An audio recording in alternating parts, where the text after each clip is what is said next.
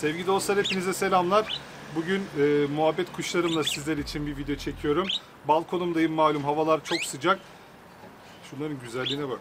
Bak bak bak. Dişi şu anda aşırı kızışmış vaziyette.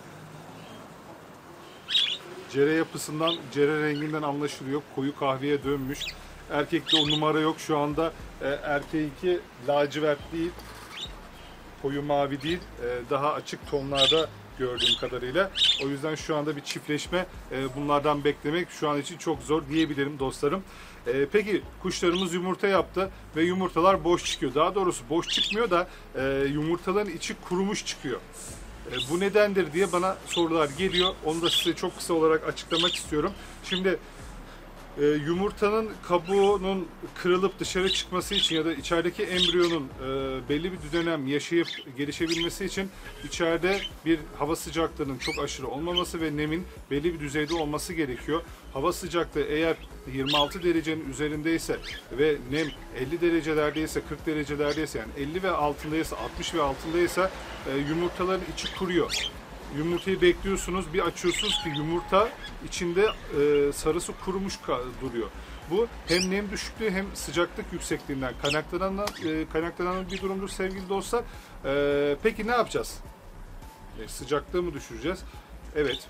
Kuşlarımızı daha gölge, evimizin gölge olan, daha serin olan muhakkak bir yeri vardır. Şimdi benim mesela evimde çatı katımın sağ tarafı aşırı derecede güneş alıyor ve yaklaşık 30 derece bulunurken e, sol tarafındaki odada ise yaklaşık 27 derece civarında, 28 derece civarında bir sıcaklık olabiliyor.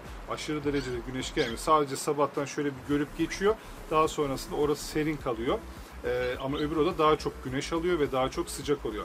Birincisi oda değişikliği, mekan değişikliği yapabilirsiniz.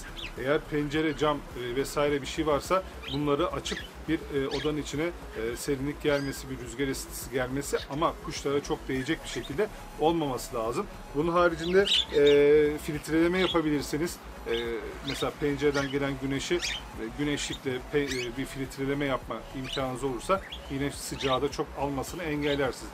Ve bu sayede sıcaklığı bir nebze olsun kontrol altına alabilirsiniz. 1 derece, 2 derece bile sizin için çok büyük bir faydadır. Ama burada sakın e, klimayı açayım, kuşlara doğru vereyim, klimalı odada e, kuşlara bakayım ne bileyim vantilatörü e, falan açayım kuşa doğru tutayım. Bu muhabbetlere kesinlikle girmeyin. Çünkü gerçekten kuşlarınızı e, kaybedersiniz. E, çok sıkıntı olur. E, peki nem olayını nasıl sağlayacağız? Nem olayında kuşlarımızda e, nasıl yapacağız?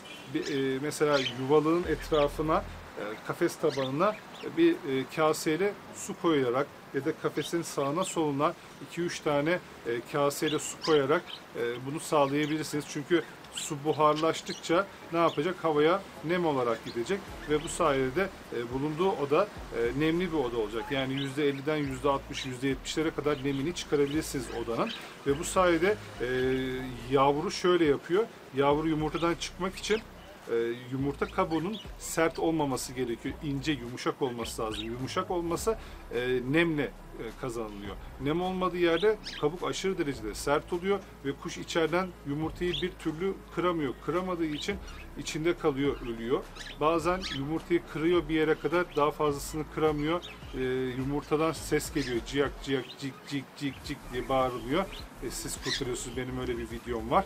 E, o yüzden nem çok önemli. Sıcaklık, derece çok önemli. E, %50'nin üzerinde bir sıcaklık, e, %50'nin üzerine bir nem e, ortalaması olması lazım. En ideal nem 70 e, seviyesidir.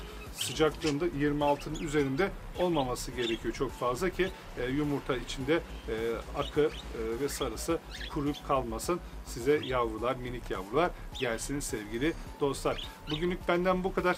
Kendinize çok iyi bakın. Bir sonraki videomuzda görüşmek dileğiyle. Hoşçakalın.